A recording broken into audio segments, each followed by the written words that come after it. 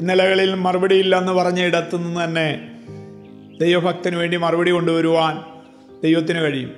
വിശ്വസിക്കുന്ന ദൈവമക്കൾക്ക് വേണ്ടി ദൈവം അത് ചെയ്യുന്നത് മടുത്തു പോകാതെ പ്രാർത്ഥിക്കുന്ന ദൈവമക്കൾക്ക് വേണ്ടി അത് ചെയ്യുന്നത് മോണി മണ്ണായിലേക്ക് എല്ലാ പ്രിയപ്പെട്ടനും സ്വാഗതം. വീണ്ടും ഒരു നല്ല ദിവസം കൂടെ കർത്താവ് നമുക്ക് ദാനമായിട്ട് തന്നിരിക്കുകയാണ് ഈ ഭൂമിയിലെ നമ്മുടെ ഒരു ദിവസം കുറഞ്ഞെന്നും നിത്യതയിലേക്കുള്ള നമ്മുടെ ഒരു ദിവസം ആമൻ അടുത്തു എന്നുള്ള ബോധ്യത്തോടെ വേണം ഓരോ ദിവസങ്ങളും നമ്മൾ എഴുന്നേൽക്കുമ്പോൾ യാത്ര ചെയ്യാൻ. ഹാലലു ഈ ഭൂമിയിലെ എന്റെ ഒരു ദിവസം കുറഞ്ഞു. എന്റെ കർത്താവിനോട് എന്റെ അരുമനാഥനോട് ചേരുന്ന ഒരു ദിവസം അടുത്തു. കർത്താവ് അനുഗ്രഹിക്കട്ടെ. ആമേ നമ്മൾ ഇന്നലെ ചിന്തിച്ചതിന്റെ തുടർമാനം ഇന്ന് നമുക്ക് ചിന്തിക്കാം. ഒന്ന് രാജാക്കന്മാർ പതിനെട്ടാമത്തെ അധ്യായം നാൽപ്പത്തിനാലാമത്തെ വാക്യം. ഏഴാം പ്രാവശ്യമോ അവൻ ഇതാ കടലിൽ നിന്നൊരു മനുഷ്യന്റെ കൈ പോലൊരു ചെറിയ മേഘം പൊങ്ങുന്നു എന്ന് പറഞ്ഞു. അതിനെ അവൻ നീ ചെന്ന ആഹാബിനോട് മഴ നിന്നെ തടുക്കാതിരിക്കേണ്ടതിന് രഥം പൂട്ടി ഇറങ്ങിപ്പോകുക എന്ന് ബോധിപ്പിക്കുക എന്ന് പറഞ്ഞു. ഹലലൂയ വളരെ പ്രത്യാശ നിർഭരമാകുന്ന ഒരു വളരെ അനുഗ്രഹിക്കപ്പെട്ടൊരു വാക്യമാണ് കർത്താവ് ഈ പ്രഭാതത്തിൽ നമ്മളോട് സംസാരിച്ച്. നമ്മൾ പ്രാർത്ഥിക്കുന്ന ചില വിഷയങ്ങളിൽ ചില സൈനുകൾ കാണാൻ പോകുന്നു. വിശ്വസിക്കാമോ? ചില അടയാളങ്ങൾ കാണാൻ പോകുന്നു. യെസ് ചില അടയാളങ്ങൾ ഈ ദിവസങ്ങളിൽ കാണും. വിശ്വസിക്കണം ഈ വചനം. ഇതൊരു പ്രവചന ശബ്ദമായിട്ട് ആരോടൊക്കെയോ പറയുക നീ ഒരു അടയാളത്തിന് വേണ്ടി വെയിറ്റ് ചെയ്യുക നീ ഒരു ദൈവ ശബ്ദത്തിനു വേണ്ടി കാത്തിരിക്കുക. നീ ഒരു ദൈവിക ഇടപെടലിന് വേണ്ടി കാത്തിരിക്കുക. കർത്താവ് നിന്നോട് ഈ വചനത്തിലൂടെ സംസാരിക്കുന്നത്.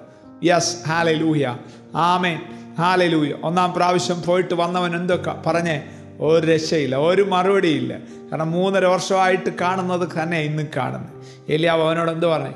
ഇനി ഒരു ഏഴ് പ്രാവശ്യം കൂടെ നീ പോകണം പക്ഷെ ആ ബാല്യക്കാരൻ അത് അനുസരിക്കാൻ തയ്യാറായി. അനുസരിക്കുന്നവർക്കേ അത്ഭുതം കാണാൻ പറ്റത്തുള്ളൂ കേട്ടോ? ദൈവത്തെ അനുസരിക്കുന്നവർക്ക് ദൈവപ്രവൃത്തി കാണാൻ കഴിയത്തുള്ളൂ. ചോദ്യം ചെയ്യാതെ അനുസരിക്കുന്നവർക്ക് സൂപ്പർ നാച്ചുറൽ ആയിട്ടുള്ള ദൈവപ്രവൃത്തി കാണാൻ കഴിയത്തുള്ളൂ. ഏഴ് പ്രാവശ്യം കൂടെ ചെല്ലാൻ പറഞ്ഞു അല്ലേ? മൊത്തം എട്ട് പ്രാവശ്യം പോയി. എട്ടാം പ്രാവശ്യം പോകുമ്പോഴും ആമേൻ അവന്റെ ചിന്ത എന്തുമായിരിക്കും ഓ കഴിഞ്ഞ ഏഴ് പ്രാവശ്യം പോയതാ അതുപോലെ തന്നെ ഈ പ്രാവശ്യം. പക്ഷെ അവന്റെ കണ്ണുകളൊക്കെ വിശ്വസിക്കാൻ കഴിഞ്ഞോ? ആമേൻ. വിശ്വസിക്കാമോ ദൈവ നിന്റെ കണ്ണുകൾക്ക് വിശ്വസിക്കാൻ കഴിയാത്ത രീതി. മുമ്പിൽ നടക്കുന്ന സ്വപ്നമാണോ യാഥാർത്ഥ്യമാണോ എന്ന് നിന്റെ കണ്ണുകൾക്ക് വിശ്വസിക്കാൻ കഴിയാത്ത രീതിയിൽ. ഒരു അസാധാരണമായ ദൈവപ്രവൃത്തി. ഒരു അത്ഭുതകരമായ വിടുതൽ.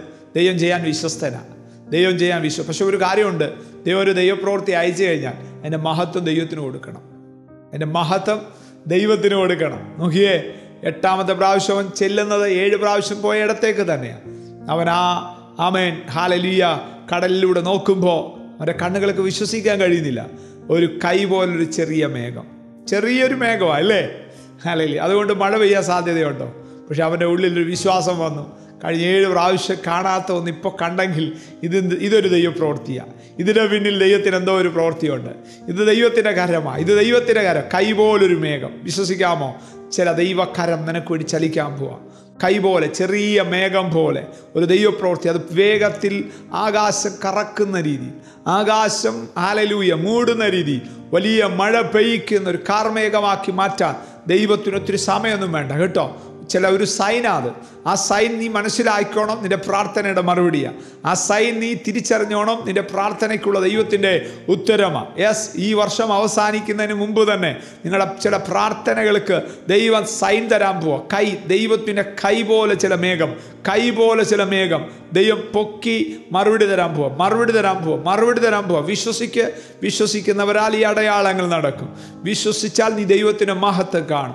ആമെ ദൈവത്തിനൊരു കാര്യം അസാധ്യമല്ലല്ലോ യഹോവയാൽ കഴിയാത്ത വല്ല കാര്യമുണ്ടോ? ഈ പ്രഭാതത്തിൽ ഇത് വിശ്വസിക്ക്. ഈ ദൂത് ഏറ്റെടുക്ക്. ഒരു ദൈവപ്രവൃത്തി കണ്ണുകൊണ്ട് കാണും. ഒരു വിടുതൽ കണ്ണുകൊണ്ട് കാണും. ക്ഷണത്തിൽ ആകാശം കറക്കുന്ന രീതിയിൽ ക്ഷണത്തിൽ വലിയ മഴ പെയ്യുന്ന രീതിയിൽ ഒരു വലിയ ദൈവപ്രവൃത്തി അവിടെ നടന്നെങ്കിൽ.